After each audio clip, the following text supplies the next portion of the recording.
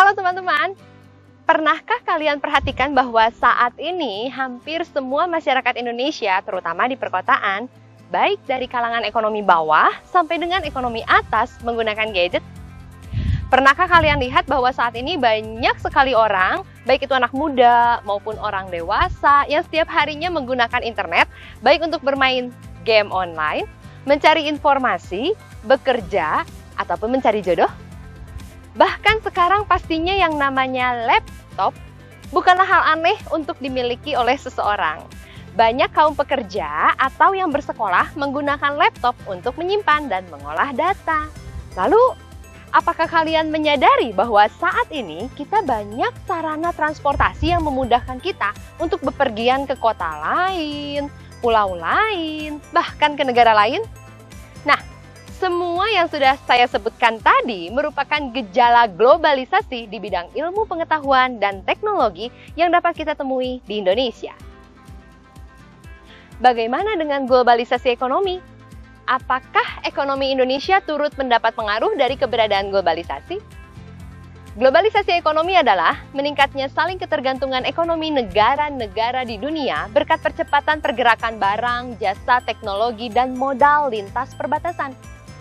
Globalisasi ekonomi terdiri dari globalisasi produksi, pasar, persaingan, teknologi, serta perusahaan dan industri. Globalisasi ekonomi bertujuan untuk meningkatkan kesejahteraan masyarakat luas. Hal-hal yang Indonesia lakukan untuk mencapai kesuksesan di era globalisasi di bidang ekonomi di antaranya adalah satu, Mengembangkan persaingan ekonomi yang sehat dan adil tanpa adanya monopoli. Kedua, memberikan kredit usaha kecil. Ketiga, mengembangkan hubungan kemitraan yang saling menguntungkan antara koperasi, swasta, dan juga BUMN, serta memperkuat struktur perekonomian nasional. Globalisasi pastinya membuat Indonesia semakin mudah dalam memperoleh informasi dan mengambil hal-hal yang baik dari negara lain untuk kemudian dapat menyempurnakan demokrasi yang sedang kita bangun. Teman-teman, saat ini banyak anak-anak muda yang lebih menggemari tarian dari negara lain dibandingkan dengan tarian tradisional yang dimiliki oleh Indonesia. Banyak juga yang lebih menyukai gaya berpakaian yang dimiliki oleh negara lain dibandingkan dengan pakaian tradisional Indonesia. Hal ini merupakan contoh dari terjadinya globalisasi di bidang budaya. Dalam menghadapi hal ini, masyarakat Indonesia harus memiliki ketahanan budaya yang kuat agar masyarakat tidak terlena dengan arus westernisasi. Globalisasi menyebabkan arus komunikasi dan informasi antar umat beragama yang sama maupun yang berbeda di Indonesia menjadi semakin luas dan terbuka.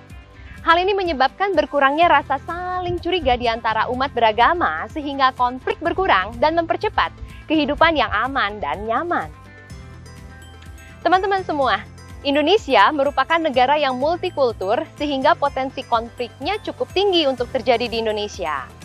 Oleh karena itu, biarlah di era globalisasi yang memberikan kemudahan kepada masyarakat Indonesia dalam mencari informasi dapat dipergunakan dengan baik sebagai sarana untuk saling memahami perbedaan yang ada. Sehingga masyarakat Indonesia tidak semakin terpecah seiring dengan waktu, tetapi semakin bersatu demi kejayaan Indonesia. Mari kita gunakan berbagai kemudahan yang kita miliki saat ini untuk menunjukkan kecintaan kita kepada negeri kita, Indonesia.